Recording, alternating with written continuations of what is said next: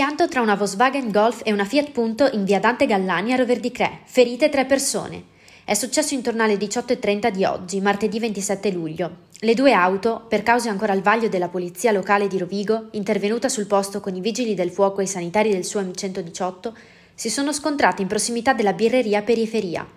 L'impatto è avvenuto frontalmente, con la Golf che poi ha concluso la propria corsa schiantandosi sul muro di un'abitazione.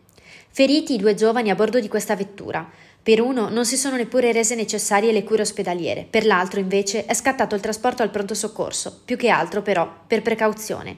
Non ci sono motivi di preoccupazione, a quanto emerge dalle prime notizie. Ferita anche una donna, comunque in modo non preoccupante. Pesanti le ripercussioni sulla viabilità, con la strada completamente chiusa alla circolazione. Un grande lavoro per l'efficiente personale della polizia locale accorso in forze, così come per i vigili del fuoco. Per chiarire la dinamica dell'accaduto, ora sarà necessario attendere l'esito dei rilievi, che vengono eseguiti con la consueta cura e professionalità dal personale della polizia locale presente in forze, per governare anche la viabilità, compito non facile, alla luce dell'orario di punta, ma gestito perfettamente. I vigili del fuoco, da parte loro, si sono occupati della messa in sicurezza dei veicoli.